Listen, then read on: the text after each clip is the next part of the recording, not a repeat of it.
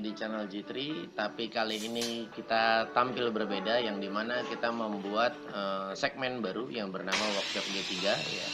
Pertama kali kita cuma hanya mengandalkan ada bahan-bahan sisa di mana bahan ini uh, bekas pembangunan studio G3 Channel ya. Kali ini kita uh, pertama kali juga kita ingin membuat uh, talenan ya. Mungkin so uh, gue juga memang masih newbie sekali dan masih belajar tapi berusaha untuk memanfaatkan uh, sisa-sisa bahan yang ada.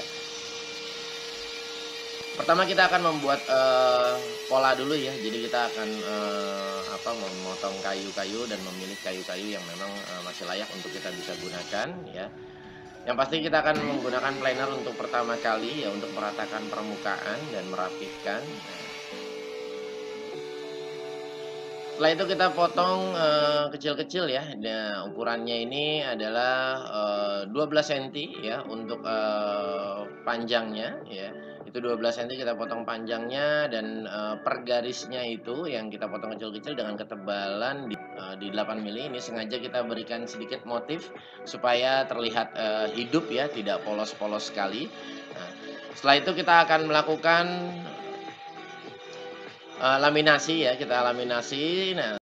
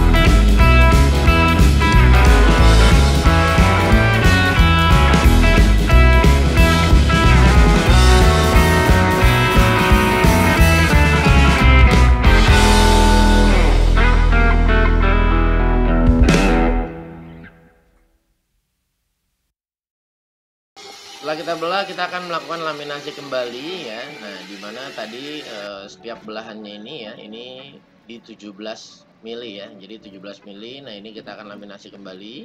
Nah, karena kita eh, ingin memberikan sedikit variasi kepada talenan ini, yang di mana tengah ini polos dan kanan kirinya dia bermotif garis-garis seperti ini.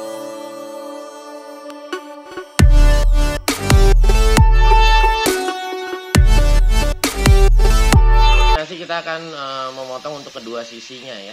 Memotong untuk kedua sisi dan uh, ini adalah pola yang pertama setelah uh, jadi. Nah, dan kita akan menyiapkan untuk uh, handle-nya handle-nya ini karena memang kita kemarin ingin belajar untuk uh, menjoin ya jadi uh, kita belajar menjoin juga nah di sini kita juga ingin mencoba mulai belajar memahat ya kita mencoba untuk uh, menggunakan alat manual juga nah ini makanya kita mencoba untuk memahat Mohon dibantu juga, ini adalah pertama kali juga kita untuk pertama kali juga uh, belajar ya. Jadi kita kepengen belajar bersama. Mohon diberikan kritik dan sarannya buat saya, tapi dengan sopan ya guys.